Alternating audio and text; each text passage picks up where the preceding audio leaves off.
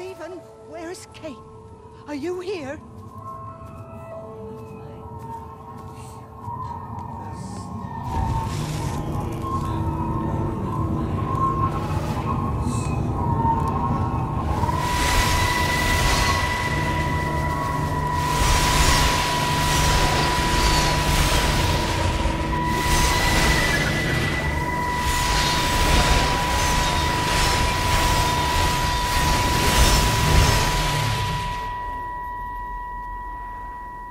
Stephen? I can hear the planes. It's the government coming to rescue us. You can come out now. It's all gonna be all right. I can hear the jets coming. It's like when Eddie came home. It's like your dad coming home again.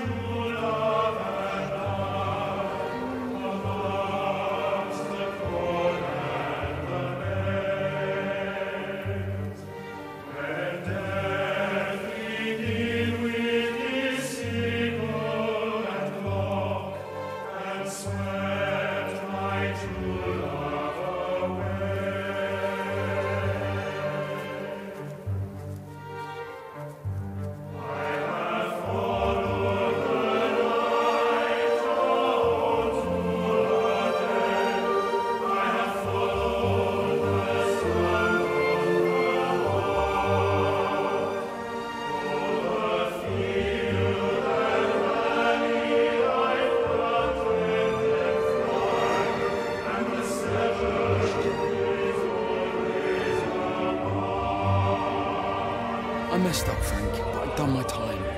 They shouldn't keep on punishing me. Some folk won't let go of this, and they've got nothing better to do than to poke their noses into other people's business. There's nothing you can do about it, I'm doing a good job. I'm working hard.